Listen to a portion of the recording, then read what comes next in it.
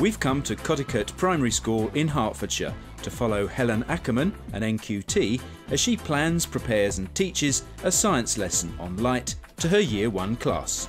As part of her preparations, she's consulted with Jane Turner from the Science Learning Centre, who's helped her with her lesson plan ideas and provided some extra resources to help with this dynamic lesson. We've sort of started already and I've introduced it using a book. The story focuses on the fact that Little Bear's afraid of the dark. There's a lot of darkness around right. him. So tell me what you're going to do. You've got your story. How are you going to make practical activities for the children to explore? I'm going to try and link with imaginative activities Right. as far as possible, um, um, using the theme of the bears. Um, and I thought we'd perhaps try and make a cave. Uh-huh. I think if they're going into the cave and they're working with me, the, the, the targeted group of children Right. would need to know that when they're in there, they need light to be able to Right, see when they're in yes. the dark. I think it's really important when we're thinking about transition from reception to year one to try and keep the environment matching to the environment that the children are used to. So you mean a play-centred environment? Yeah, if possible, and an imaginative focus. Yeah. Um, and obviously moving on more towards national curriculum objectives, but, yeah. but still within a context and a setting that the children are comfortable. So I've got a few activities that I hope they're going to enjoy and they haven't used before. I think that's really good. I think you need to keep your objective for science key stage one really clear. Mm. But allow children the opportunity to explore and come up with other things. So tomorrow morning, Key Stage 1, science, focusing on light, Yep. need light to be able to see, bit of exploration, bit of narrative, some focused investigation. Sounds good. Fantastic. Haven't successfully managed to find dark places in the past. From experience, I would say you need lots of cloth to get rid of all the light, and you mm-hmm. need to make it big enough for a couple of children in there so that they can actually talk to each other about what's happening and have a bit of space.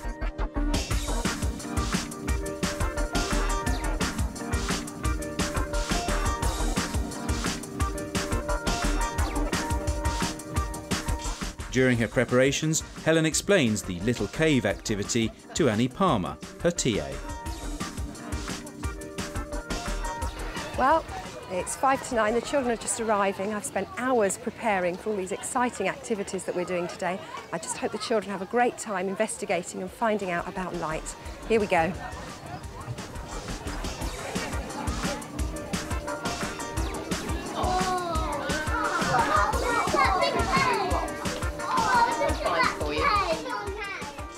Right, children, are you all looking this way?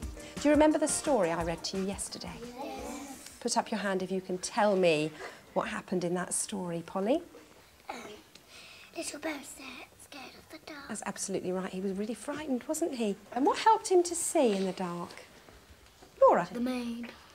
Now, the moon did help him to see in the dark in the end, didn't it? But what helped him to see in the dark when he was in the cave? The lanterns. It was the lanterns, and they were the what? You remember that special word we've used before? They were a Light light... source. Good girl. Well done. They were a light source. Well done. Polly's going to pass me a torch from the table over there. Thank you, Polly. And let's just have a little look at it. Let's hope it works. Let's hope the batteries are in. Yeah. Oh, yes, it does work. Oh, look, right. I'm shining it on Samuel's tummy here. Samuel, can you feel that on your tummy? No, You can't feel it? Why? Why not? Because it, it doesn't reach far. But it's touching you. I can see it, look. It's touching you. You can't feel it. Destiny's trying to touch it. Can you touch it and hold it, Destiny? Can you get it? Why not? It's flat. Because it's flat. You think because it's flat? Just air. Is it just air? Yes. How do we know that light is coming out of here? We said we couldn't touch it, could You we? can see it. But you could see it with your eyes. I want you to have a little think whether you've ever been in a really dark place before. Um, I've been to the park at night time and it was really dark. Have you? Could you see? No. What's our special word that we use when we're going to be finding out about things? Light source. Light sources are what we're going to be using today. Well done to find out about the light and the dark. But what's our special word that we use when we're going off to find things out in science? Brianna? Um, transparent. Good try. Very close. It starts with in. Ellen? Investigate. Fantastic. so I'll put that word up there. And it's a very long word. Isn't it, Peter? What do we call it when we're thinking about what might happen, Laura? Guess. Um, estimate. A guess or an estimate. I'll show you the word. See if you can read it. Go on, Laura. Predict. Predict. Excellent, well done. We're going to be predicting. We're going to be guessing what we think will happen when we do some of our activities today. And when we've guessed what we think will happen with some of these activities, then we're going to do a test to find out what happens. So I've put the word test here for you to have a look at. At the end of our investigation, we have some results. So let's stick our word results here. So we're going to do an investigation. We're going to be predicting, saying what we think will happen. We're going to be testing that, doing the activity and finding out.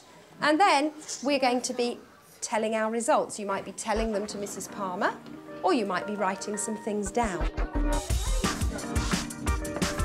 As part of the children's experiences of light and dark, they're exploring different activities, including a light source table, a dark cave, a light box, small caves made out of shoe boxes, and a story box using props and mirrors. Sam and Laura are predicting which of the coloured stick people they'll be able to see in the cave with no light source. That's right, we've got some questions here to help you with your prediction. Which ones? We'll ones? be able to see the silver one. You think, do you? This one here? Yeah. You'll be able to see him in And the white one. in the dark. Why do you think you'll be able to see him in the dark? Because um, Confield is really, um, Confilm is really, really shiny and dark. You mean foil? Yeah. Foil's really shiny. Right, okay. Where do you want to put that then? All right, you're predicting that this one will be one we can see in the dark.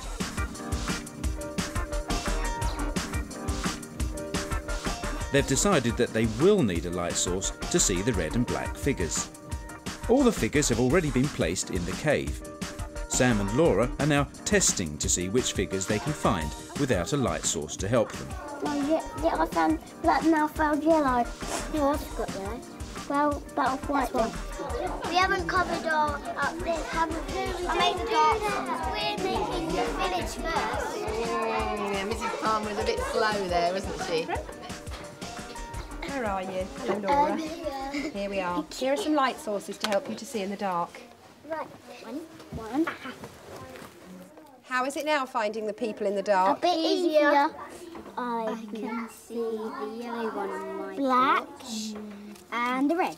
Which one, Sam, is the easiest one to see? Um, it is the silver and the white, I think. Were they your predictions? Yeah. Fantastic. Bring all your things out. We'll have a look at your predictions and see what you found out in your test. Well done.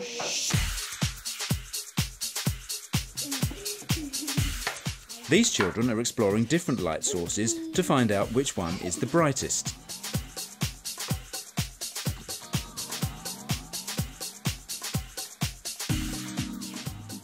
See if you can block the light, Anna, with your hand. It's not easy to do, is it? Look, the light's coming right round here. It's making quite a big beam of light. Shine it on in the box. Can you see it when it's in the box? Yeah.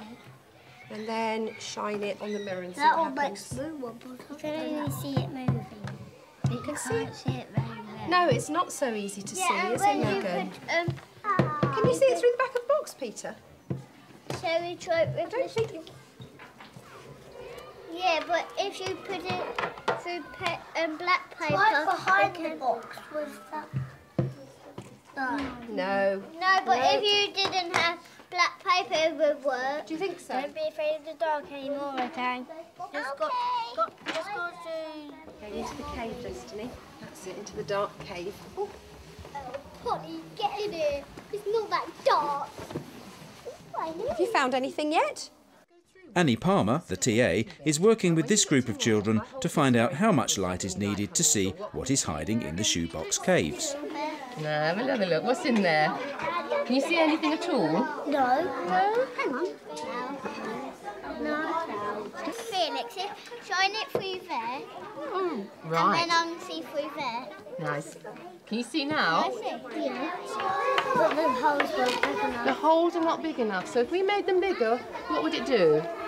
Make more light go in. I think you're right, Samuel. I think that's a jolly good idea. I saw two. Sorry? You can see a big bear.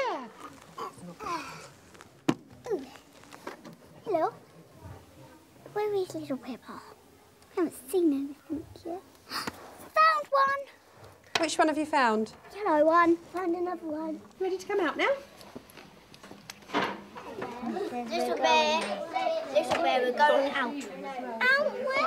Out into the dark. Do you remember the little people that you're looking for? Yeah. Can you see any of them? Not yet. Well, that's fantastic. Why can't you see them? Because it's too dark. Right. Let's see which ones you find easiest to see now you've got light sources. Oh, that's. I can see one.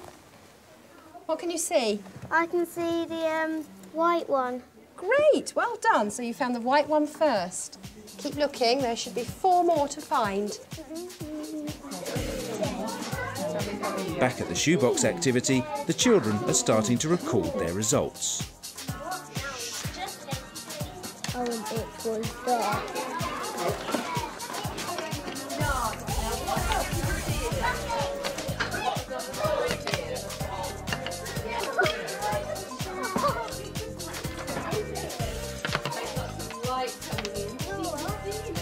So, now that the children have finished their activities, it's time to sit down for the plenary. They predicted which of these people they would be able to see when they went into the dark, dark cave. I'm just going to put this word predict here because this was what you thought you would be able to see when you went into the dark, dark cave. Could you just tell the children why you thought you would be able to see those ones when you went into the dark cave? when it was really, really dark, then quite light colours and shiny colours, they would show up. Right. They're bright colours. Excellent. I think that's a good reason for your prediction. Do you agree with that, Libby? Yes. And you thought that you would need a light on to see these two. You went into the cave, you did your test. What I'd like you to do now is move the people into the right places to show us the result of your test. Did you see this one? In, Yes, yes, yes, With the light on? yes. Right. So where does it need to go now then? On that side. Excellent, well done. Back in the dark. No. You needed a light to see it, didn't you? Excellent, well done. What about this one? We could see it a little bit in the dark, but we needed um, a torch to see it all. Excellent, Libby, well done. You could see just a little bit, but a light source helped to see it really clearly. In the middle. In the middle? Yeah, there. I don't know. What about this one? We couldn't see it in the, we couldn't see it Couldn't see it at all in the dark. No, that surprised me. I was surprised about that. Were you surprised about that? Yep. But you could see him with the light on, so move that place there as well. And that's the result of your test, girls. Excellent. Right, we've had a really good lesson. Lots of experiments, lots of investigation and finding out that we need light sources to be able to see in the dark. Well done, children. Helen has now introduced the concept that we need light to see with two investigations the large cave and the little cave shoeboxes. She's also enabled the children to explore light and light sources using a light box, a light source table, and a story box. And all these activities began with the children's interest in the story.